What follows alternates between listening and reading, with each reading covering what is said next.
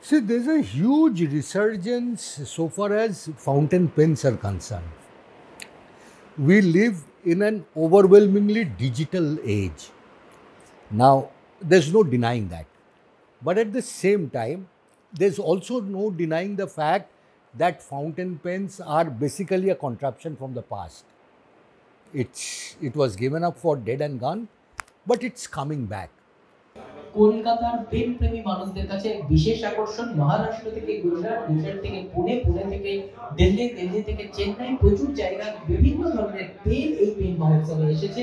সাড়ে সাত লাখ টাকার ওপরের দামের পেন রয়েছে, যা একটা প্রকার দুষ্কর আমাদের পক্ষে এই প্রথম দেখা ছুঁয়ে দেখতে পারেন। তাই অনুরোধ করব আরও একবার এই মহোৎসবে আপনাদের সকলকে স্বাগত। On the other side, on the other end of the spectrum, you have the dot pens, which where this ink is uh, water based, there the ink is oil based, and that ink flows from the tip of the name of a dot pen where you have a ball, a roller ball. That's why sometimes they also call it the roller ball pens. Now, because of that, an inordinate amount of pressure is required to be put for the ink to come onto paper.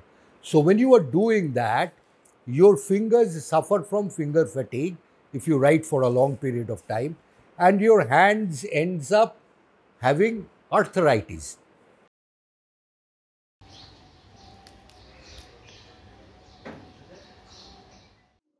Okay, it started in 1930s, early 1930s.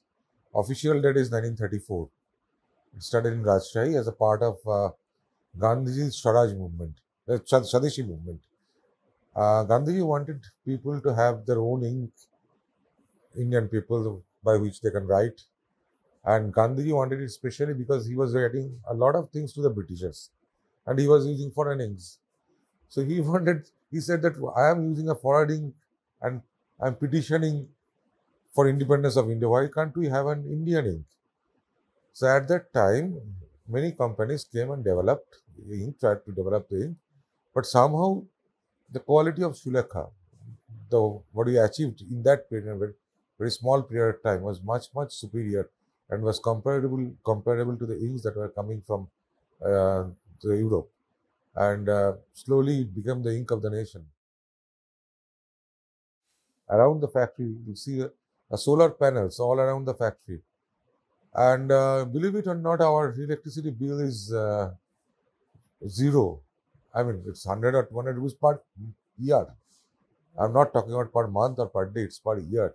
As such a big factory is running. So, what exactly is happening that we are using the entire energy that we are producing.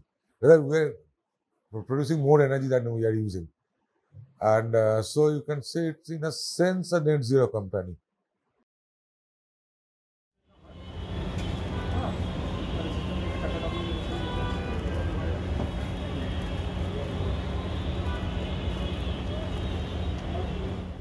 দোকান পেনের দোকান আছে, pen hospital আমরা pen repair করছি, pen sell করছি antique vintage new model সবই হচ্ছে। সবাই কালি পেনের জন্য আসছে বেশিরভাগে। কিছু লোক বল পেনও আছে রোলার পেনও আছে। বেশিরভাগই আমাদের কাছে কালি পেনের কাস্টমার বেশি আছে। সে সব বয়সের লোক আছে। আমাদের পঁচাত্তর বছর হয়ে গেছে এই পেনটা। এই তো রিসেন্টলি পাঁচ বছরের মধ্যে ইয়াং স্টার তো অনেক হয়েছে। কম বয়সে ইয়াংয়ে তারা তো অনেক পেন আবার কিছু ছোটো ছোটো বাচ্চাকেও মা বাবা নিয়ে আসছে পেন কেনার জন্য, কিনছে। পেন ব্যবহার করছে ভালো পেনও কি- কিনে দিচ্ছে কম দামেও দিচ্ছে কালি পেনটা আর এমনি ইয়াং যারা স্কুল কলেজে আছে তারা মেডিকেল যারা পড়ছে তারা তো পেন ব্যব- কিনছে ওরা আরও বেশি ভালো করে বুঝছে যে পেনটা কীভাবে ব্যবহার করা যাবে কীভাবে রিস্টোর করা যাবে See, in the past five years, fountain pens are making a comeback in Calcutta.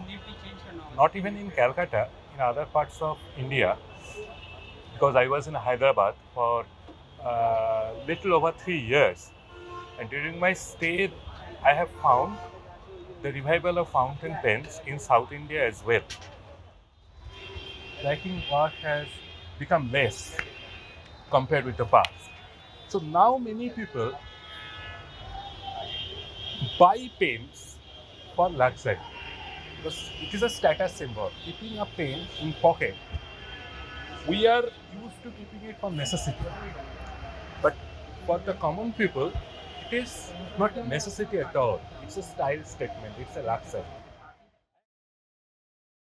Yeah, so basically, my name is Swagato Mukherjee, and um, usually the kind of art that I do uh, is is way more politically inclined and politically tinged. So that's I mean, if I am doing something, then that has to be extremely, you know, uh, that has to be that has to have a political motto and for the people. It's not for arts for arts'.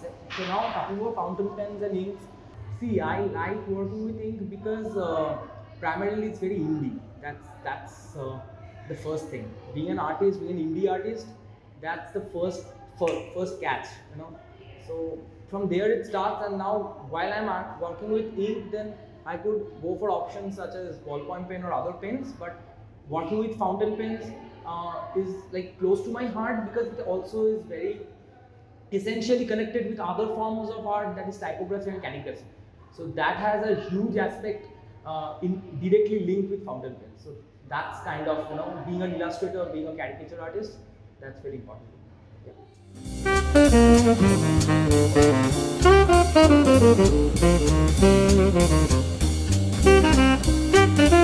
Yeah.